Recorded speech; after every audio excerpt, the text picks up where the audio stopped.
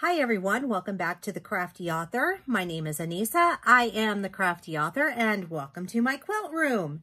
So, have you ever been working on a project and you keep trying to find um, via through the internet search or YouTube or whatnot on how to do a specific thing?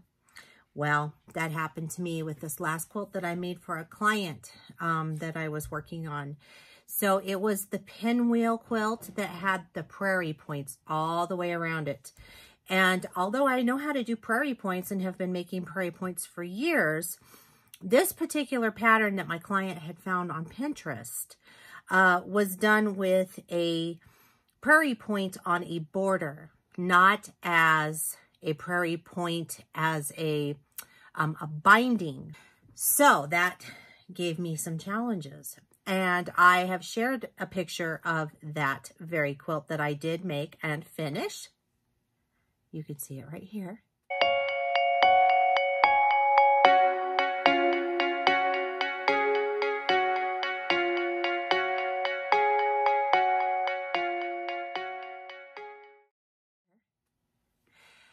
And I'm going to show you also how to make prairie points as a border.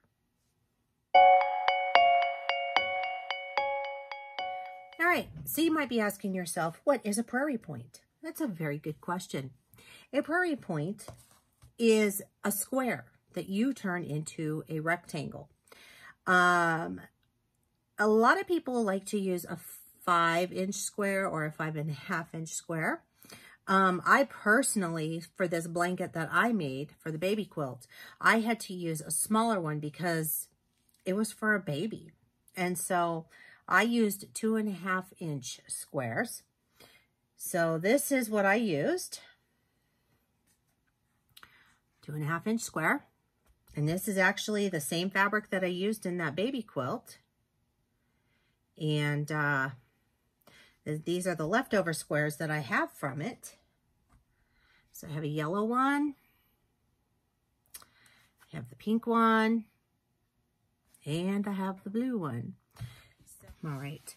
So what you're looking at here is my little portable uh, um, ironing board that I have made myself. This is just a cover that I made for it. And on the other side is actually a cutting board. But I like to use this because I like to have a pressing surface that I don't always have to get up and go to my ironing table. I am also using a Cricut Mini Easy Easy Press Mini. So this is what I will be doing to uh, show you how to press these flat. This is what it looks like. And I purchased this because it was on sale. And um, we're going to give it a try. This will be my first time giving this a try. So we're going to go ahead and give that a little press. Then you're going to take your square here and you're going to fold it into a triangle, just like that. And you're going to press it. Okay. Then you're going to fold it again and you're going to make another triangle.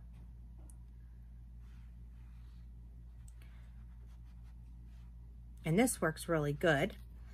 Um, I prefer steam but this works really good, actually. So there's that. So we have our one of our first prairie points done. So let's try it with the yellow. Again, we're just going to fold it into a triangle. Press it down. And if you're using this little mini press iron, you want to be very careful because it is very hot. Gets up to 400 degrees, I believe. Very hot. So just press that down. And we have another prairie point. Okay. So I already have some that are pre-made, as you can see, just left over from when I did it before. So what we're going to do is we're going to get our border ready and I'm going to show you how we do this around on fabric. I'm going to do this on a much smaller scale. Okay, so I have gone ahead now and I have cut a few little things, a, a few little strips that I'm going to attach my prairie points on. First of all, I've cut what would be our quilt. Okay, so this is just a scrap piece. It's smaller and sized and easier to work with and easier to explain. So I have this top piece facing me. So this is going to be our inner border that we're going to put the prairie points onto. And because we're going to be flipping these, we want to make sure that the direction is going correctly. So I'm going to make sure that my points are going upward and that the triangular flat part goes along the edge of the border of my um, of my border that I'm going to be attaching to my quilt. So, uh, first things first, this has an opening on this side. So when I'm going to a corner, I want to make sure that the side that isn't open, the side that is closed, is the side that I'm going to put down. Sorry, wrong way, around along the edge here. I have to think about this too for a minute because sometimes it's can be a little tricky, okay? Next, I'm gonna take another color and I'm just gonna alternate. Now this one I want to be open because I want to be able to fit it inside like so right here. And I'm just leaving about a quarter of an inch here in between the two. You can also do larger if you want to. You can leave an inch, half an inch, however much you want to. I'm leaving a quarter. Then I'm going to open up our pink. And all you're going to do is just continue to line these up. You want to make sure that they stay flat along here. And then once you get to this corner, you're going to use the closed end again at the end here. And you can kind of, um, you can kind of force it to what size you want it to be to make it fit on the edge here. Okay, so that is that one right there. Now, what I like to do is I like to clip instead of pinning. I found that clipping these was a whole lot easier than pinning them. And by clipping, I'm talking about these little quilt clips, all right? So I'm just gonna slide it here and catch.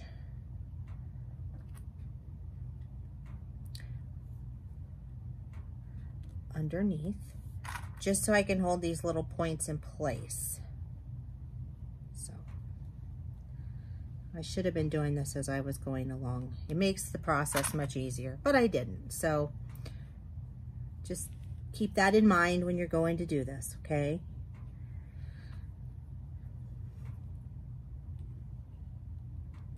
So now I've got that holding all of these little edges down.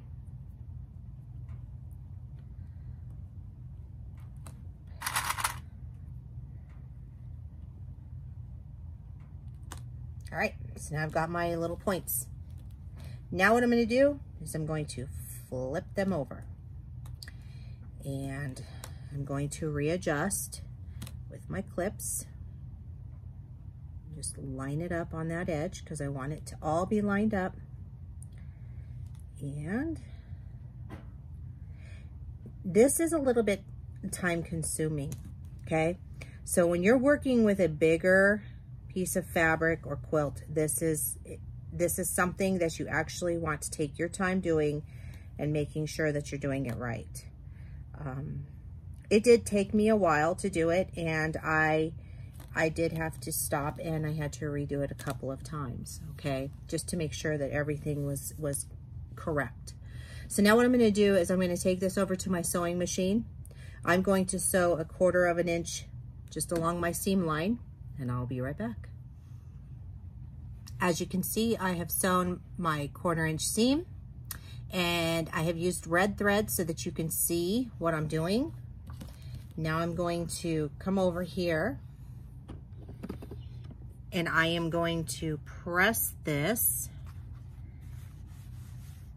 I'm actually going to set the seam. My iron was getting too hot.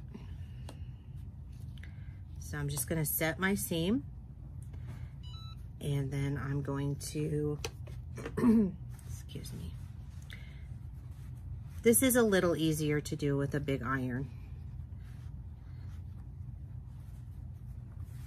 The seam pressing part. That, that I will say. And you have a pretty thick seam because you've got all of these seams going through it.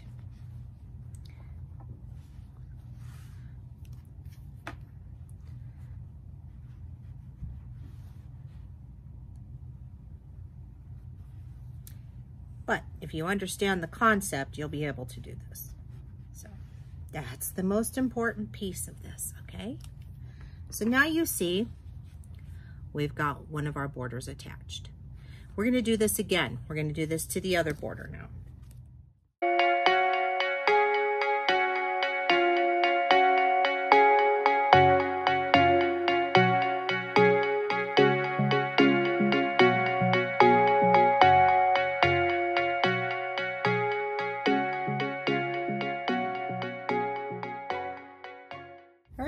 I have my quarter inch foot on. I've got my red thread in here. Hopefully you'll be able to see it as we go along. I'm gonna pull out this first clip.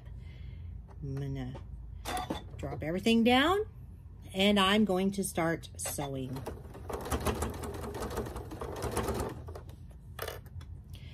You're just gonna sew like you normally would. Just sew it down.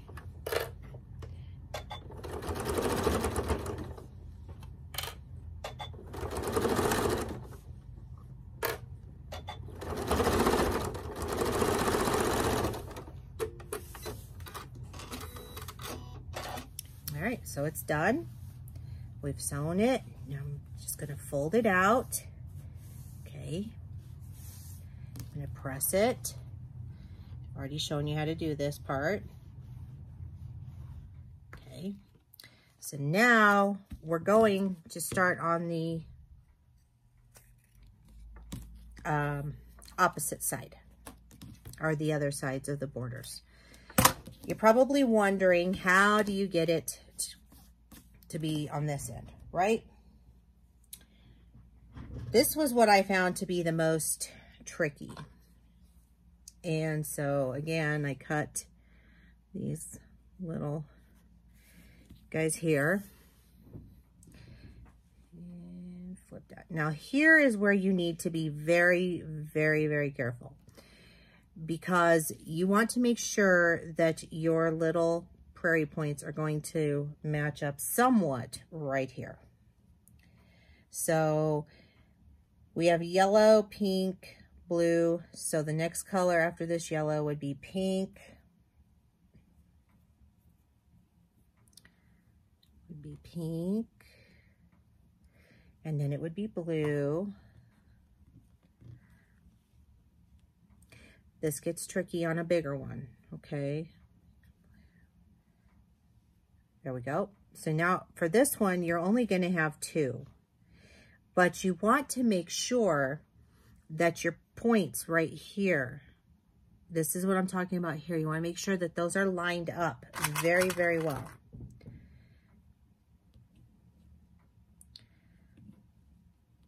That's what makes your prairie points look even when they're not exactly even.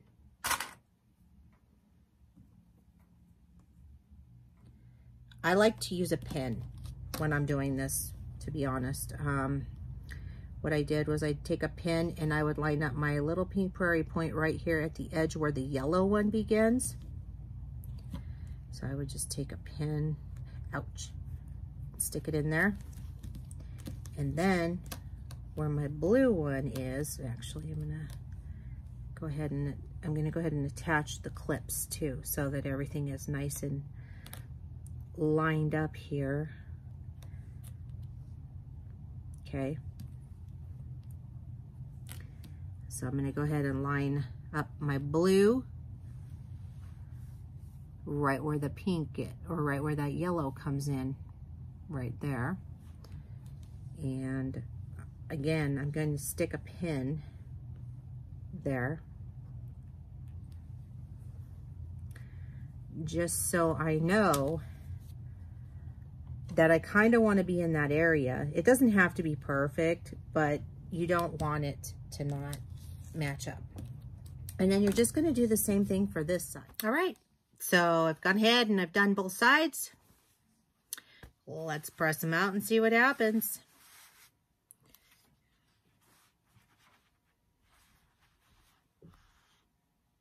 Now look at that. Now you might be asking yourself, how do I keep these flat? And I'm going to tell you. so when you do this, they do pop up. If you use a little bit of steam, it'll help to lay them down. But when you're quilting the quilt, what you want to do is you want to actually top stitch around each one of these on top of this. Just right along here. I like to use my stitch in the ditch foot right here just to uh, stitch in that ditch and hold them down.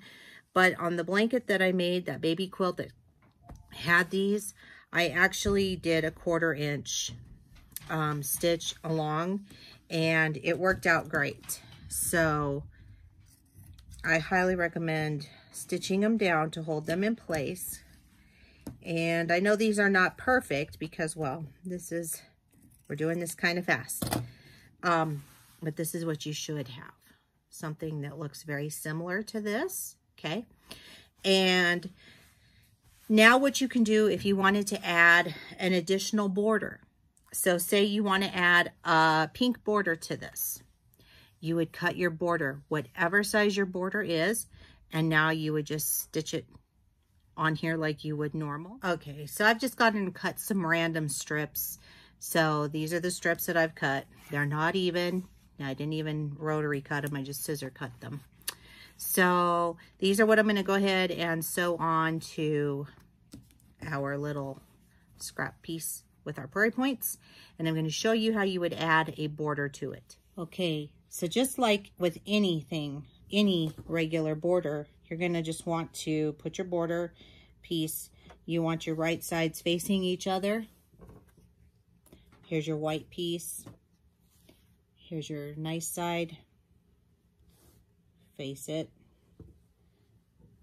If you don't know how to do this, I will link to um, one of my videos that teaches you how to add borders to a quilt. It's actually pretty easy to do. But then you're just going to start sewing a quarter of an inch down.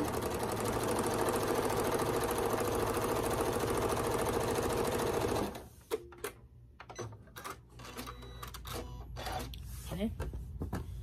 I am going to press this out just to make sure I didn't get those points, and I did not. So that's how I've added a border there.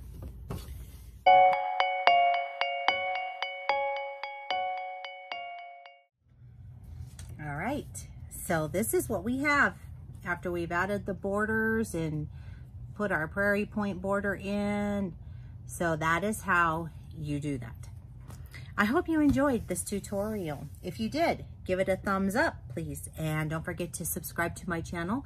You click the little, if you click the little bell, you'll get notified each and every time that I upload a new video. Oh, my Minnie Mouse watch is talking.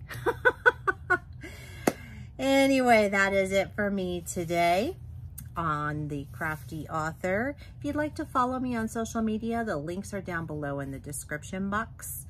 Um, keep on crafting. I hope everybody has a wonderful week, and I will see you guys soon. Bye-bye.